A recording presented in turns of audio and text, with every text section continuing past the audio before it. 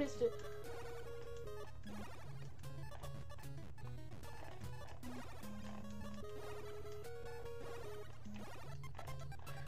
Oh my god.